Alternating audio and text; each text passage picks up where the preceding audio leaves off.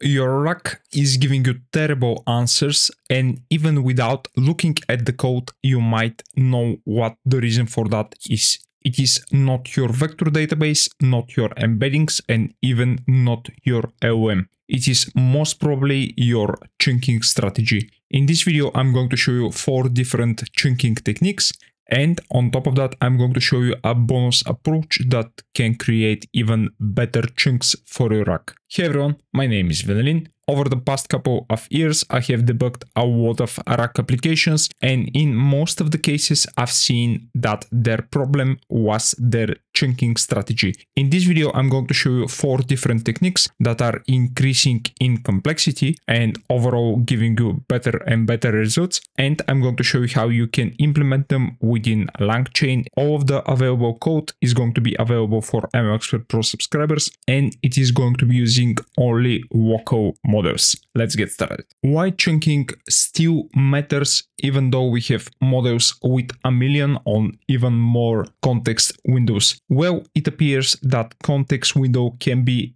effectively used. That is, the recall from that context window, even with modern and powerful LLMs is not perfect according to the research provided by Chroma here. Even though we have more and more powerful LLMs, their performance is still not perfect according to their evaluations shown right here. And on top of that, it is probably not very practical to take your company's complete database, create a text file out of it, and put it within the prompt of your LLM. This is where chunking comes in. In this part of your ingestion pipeline for your RAG applications, you are given a set of large text, and these texts are going to be essentially split into chunks that are generally smaller than the input large text. When chunking goes wrong, usually your LLM is unable to get enough information about what the answer to your query might be. So here, for example, we are looking at a very naive chunking strategy. Given this document in markdown format, you can see that with a naive 100 character chunking, you get a split that is not very useful. You can see here that within this part right here, uh, you're not chunking correctly the business days. And then uh, you in the next chunk, you are starting with Ines days. And all this information would generally confuse your LLM application. And in these cases, the context is destroyed instead of created for your RAG application. If you want to get access to the complete source code along with a complete text tutorial on the chunking techniques, go and subscribe to MLExpert Pro. There, you're going to find a complete AI engineering academy that starts from the basics of machine learning, PyTorch, and how you can set up your own developer environments. Then it goes to deploying a real world machine learning pipeline. Then it goes into LLMs, RAGs, context engineering and AI agents. So if you want to get better AI engineer, go and subscribe to MLExpert Pro. Thank you. For this tutorial, we're going to be using this PDF that contains a customer complaint policy. It contains dense text along with bullet lists that are going to be converted very nicely into markdown format and at the end this document contains complaint form which is also an interesting part of how you can chunk these types of documents within my Woko cursor instance, I have the document converted into markdown format using Docling. So here you can see that the conversion wasn't perfect and we have some artifacts instead of bullet points, but this is an example of a real world conversion. After we got uh, all of this document here, I'm going to show you probably the most used chunking strategy that people are using when starting with RAG applications.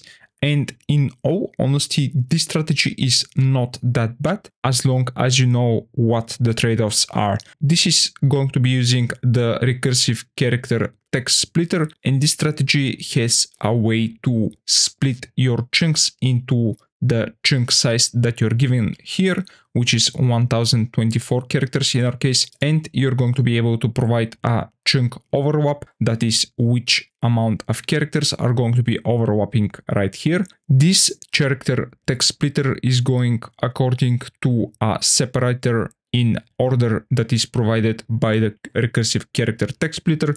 It goes through new lines, then it goes through paragraphs, sentences, etc. And based on that, this is going to create different chunks from the text that you are going to give. In this case, we are given seven different chunks and uh, we are going to see the first chunk. So for example, this one is taking the customer complaint policy along with the introduction, along with the responsibilities, but immediately you can see that this is now giving us a split right here after the responsibilities and the whole complete bullet list is not available as a context for your chunk. On the next chunk, we are given the middle point of this bullet list. And as you can see, again, this is not a perfect split. The even this second chunk is starting with the next title. So again, this is not a perfect approach. The next chunker that is very useful in practice is the markdown header text splitter. This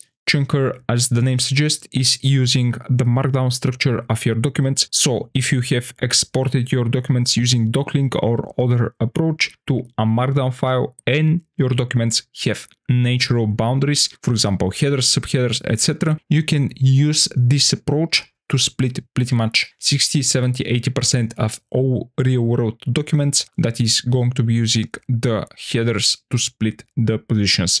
Of course, one of the cons of this approach is that you don't have control of how large your chunks are going to be. So for example, if the document owner is deciding that the header is going to be, for example, using 2000 or 3000 words within this paragraph, you're going to be unable to get a better split based on that. When we split our document using the markdown header text splitter, you can see that we are getting 12 different chunks, so a bit more compared to the previous one. And here you can see that we want to split on H1s and H2s. So in this case, when I get a look at the first chunk, we are also getting a minimum split size. So these ones are uh, merged into one. And you can see that the first chunk is giving us the first subsection of the document itself. Then the responsibilities are containing the next bullet list points along with the responsibilities heading and you can see that this is now much better but again you're losing the length and the size of your chunking abilities when your documents don't have markdown or when the markdown sections are too watch, you can use semantic meaning or embeddings in order to get a look at how you can split your chunks for this part of the code, I have taken five sentences from the start of the customer complaint policy. And when you apply the semantic chunker to the sentences using the approach that I'm going to show you in a second, you are going to see that you are getting these differences or distances between different set of sentences that you're providing. And essentially what you're doing here is that you're picking a threshold on top of which you're going to be creating these chunks. So for example for our different uh, four in our case splits available between the sentences you're going to see that after the first and the second sentence the chunker is say, saying us that we need to have a split then after the last and the previous to the last sentence, again, we should do a split according to this technique. To implement the chunking that I have shown you on the chart, you're going to be able to use semantic chunker from LangChain, and then you're going to be calling split text along with the text that is going to be the text from the sentences. And as you can see that the result here is a list of chunks and we have two separate chunks. The first chunk is pretty much the first four sentences combined, and then the last one is the last sentence that we have provided on top of that, you're going to be receiving this split that is both coherent and using the meaning of the text itself instead of just looking at the structure. The negative of this approach is that can be very slow depending on the amount of text that you're going to be providing and the speed and accuracy of your embedding technique. So you both need a good machine and a good semantic and embedding model in order to get good chunks out of this approach. The last approach that we're going to have a look at is the one that is a bit more powerful and it works quite well in practice. Unfortunately, it requires a lot of compute in order to give you better chunks as possible. Of course, it is also limited by the size of your documents and the size of the model's context window that you have. So in this case, we're going to be using a prompt in order to provide the split points or the chunking points for your LLM. And within this prompt, you are going to be able to give specific instructions of how your chunking should be provided. Of course, this is depending on the type of documents that you have. I have first learned about this approach by the Chroma team and their chunking evaluation techniques blog post and it starts by having uh, split points that you're going to be providing to the LLM. So in our case, since we have a markdown document, I'm going to be inserting a split point after each new line that is starting then with a heading. So you can see the result of that. We are going to be having these tags that are both starting a chunk and then ending a chunk. And then here you're going to get the chunk index.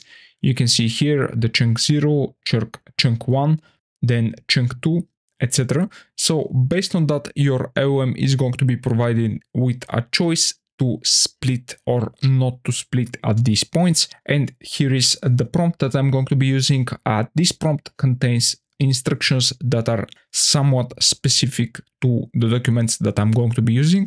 I'm also specifically requesting that form images and tables are in separate chunks along with the text that describes them. And here you're going to see that we want the response to be essentially a list of IDs of the chunks that the splits must be provided within. And here you can see that I'm using Qwen 3, the 4 billion parameter model to do the chunking for us. You can use much more powerful models for that. And I'm going to be using Ollama to run this completely locally. And after the response is given, you can see that since this is a reasoning model, we are getting uh, some sort of thinking that is provided by the model along with the response, which is a list of two chunks that the model thinks that we should split into and I'm going to be using the AST literal eval to create a set of these two different split points and then I have this helper function to split by the split points provided by the LLM.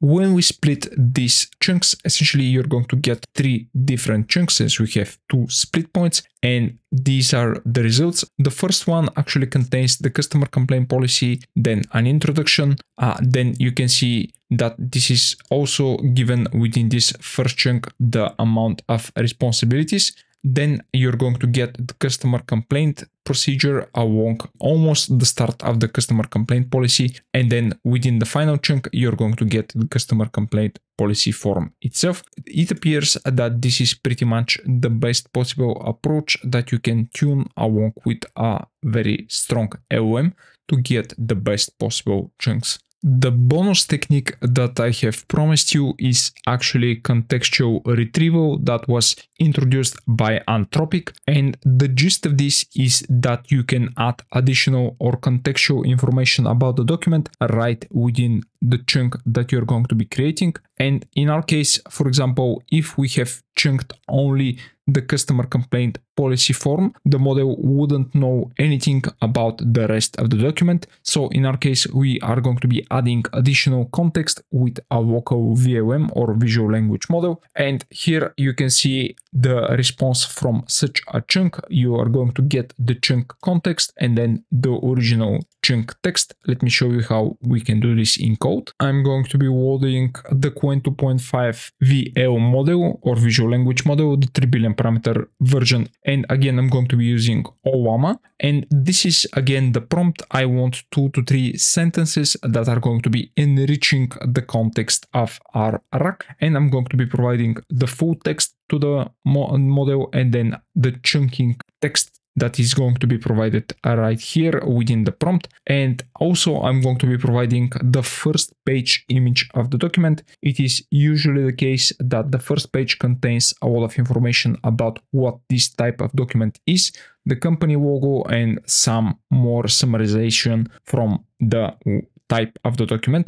And with this code, we are going to be asking the Qwen 2.5 VL model to do the contextualizing for us. We're going to be providing the prompt along with the image of the first page of our document. And after we get this executed, you see that we get a list of contexts. Each context is going to be related to the three chunks that we have from the LLM chunking. I'm going to be enriching the chunk with that information. This is the result for the first chunk, but more importantly for the customer complaint form, you're going to see that we are going to be adding the chunk context. And now when our RAG application is going to be using our chunk for the customer complaint form, it has a background or context information about what this type of document is and can probably give us a better results when we are asking about this particular form.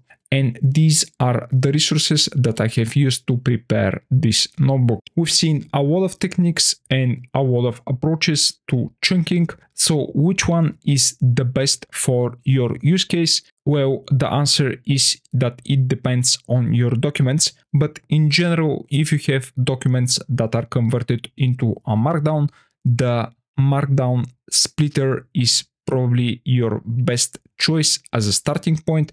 Of course, the recursive character text splitter is a very nice splitter as well if you just want to get a prototype up and running. And after that, I would go to the semantic chunker, have a look at whether or not based on my evaluations, this is providing better results compared to the markdown one.